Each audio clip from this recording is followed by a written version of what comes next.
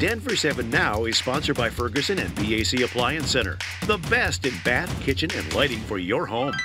I'm Tom Mustin with the latest from Denver 7. People living in an apartment complex in Jefferson County woke up to their building on fire. That fire damaged six units, and now people living there need a place to stay just days before Christmas.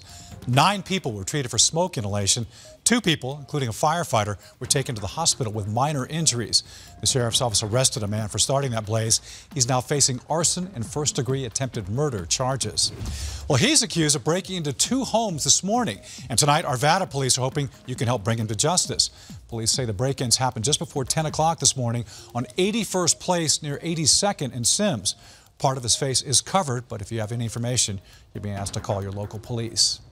Well, the Denver Broncos are back home tomorrow to host the Detroit Lions. It's the first time the Lions have played in the Mile High City in nearly a decade. Both teams are looking for a win. The Broncos struggled against the Chiefs last week in Kansas City. The Lions have lost seven in a row.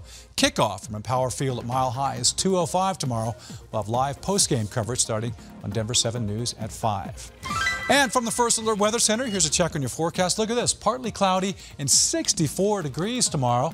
Chance for snow, though, on Tuesday with a high of 49. Christmas, a nice day, mostly sunny with a high of 47. And we're back to more seasonal temperatures, but still pretty nice. Sunny with a high of 42 on Saturday. This has been your Denver 7 On Demand Update. Thanks for joining us. And check back here later tonight for another update and download the Denver 7 app for breaking news and alerts. I'm Tom Mustin.